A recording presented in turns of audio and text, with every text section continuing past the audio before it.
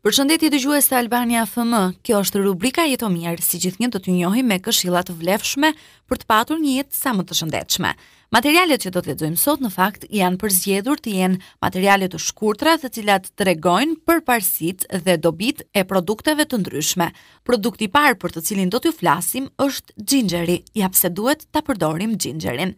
Xhinxheri nëse përdoret përditë, pastron dhe djeg më shumë kalori. Xhinxheri i cili përdoret i freskët ose i thatë, është shumë i përdorur në mjekësi dhe kuzhinë, sidomos atë aziatike, qysh rreth 5000 vite më parë. Përdoret për të aromatizuar supërat, peshkun, zarzavatet, ëmbëlsirat dhe pijet. Përmban vajra esencialë, të cilat i japin xhinxherit aftësitë dobësuese. Xhinxheri përdoret edhe për persona që vuajnë nga reumatizma. Studimet tregojnë se xhinxheri është efikas për ata që i zë makina si dhe për të vjellat që shkakton shtatzania. Përdoret për dhimbjet e kokës, ulçerën dhe njihet për efektet e mëdha antioksidues. Super këshilla dobësuese. Çaji jeshil me xhinxher është anti-yndyrë. Mjafton të shtoni 3 feta të holla rrënjë xhinxheri në një filxhan çaji jeshil, duke e lënë ashtu disa minuta para se të pihet. Këshillohet më pas të hahet xhinxheri i mbetur në fund të filxhanit. Kjo pije e çmuar redukton gazrat e barkut, mbajtjen e ujërave në trup dhe lufton celulitin. Nëse pihet tre herë në ditë, favorizon rënien nga pesha. Si ta përdorim në dietë? Edhe pse xhinxheri i thatë ka më pak aromë se ai i freskëti, aftësia e kësaj erëze për të bërë çudira me trupin tonë nuk humbet edhe kur është e thatë, me copa apo pluhur. Këshillohet të mbahet në enë të mbyllura dhe në vende të errëta dhe të përdoret sa më shpejt të jetë e mundur në pjata të kripura apo të ëmbla për efektet e saj dobësuese. Pse me xhinxher mund të humbasësh peshë? Acidet organike që gjenden në rrënjën e xhinxherit stimulojnë enzimat e tretjes, duke provokuar një rritje të harxhimit të kalorive. Kjo bën që metabolizmi të djegë më shumë kalori duke bërë të njëjtin aktivitet si përherë.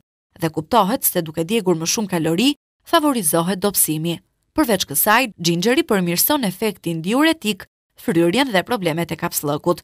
Në fakt, shumë studime kanë demonstruar se kjo erëz stimulon lëvizjen e muskujve në aparatin tretës duke shtyrë ushqimin përgjatë sistemit të aparatit tretës. Në popullsinë e Afrikës, besohet se po të konsumosh xhinxher, nuk të pickojnë mushkonjat. Një arsye më shumë për të përdorur xhinxherin të paktën gjatë periudhës së mishkonjave gjatë periudhës së verës.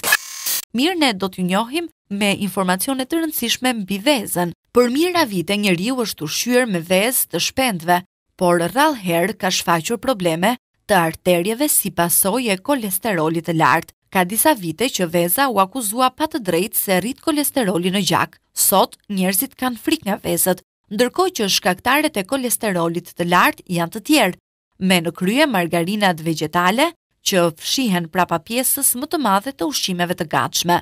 Veza vërtet përmban kolesterol, por duhet të kuptojmë se kur ne konsumojmë kolesterol nga ushqimet, trupi ul prodhimin e brendshëm të tij.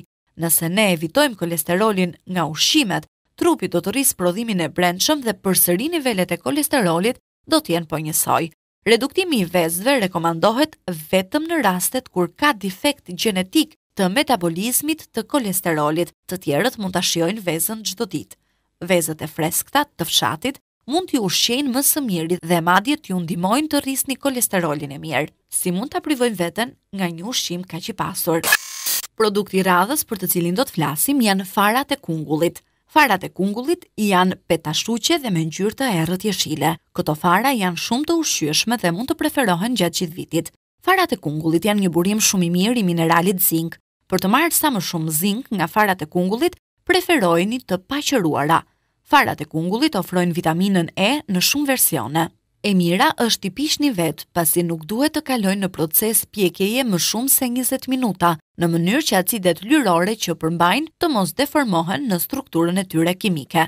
Përfitimet, Ato kanë forcë antioksiduese, përmbajtje të lartë mineralesh që ndihmojnë imunitetin dhe sistemin kockor, madje kanë edhe veti antimikrobiale. Do vazhdojmë të mbetemi sërish tek frutat e thata dhe këtë herë do të flasim për bajamet.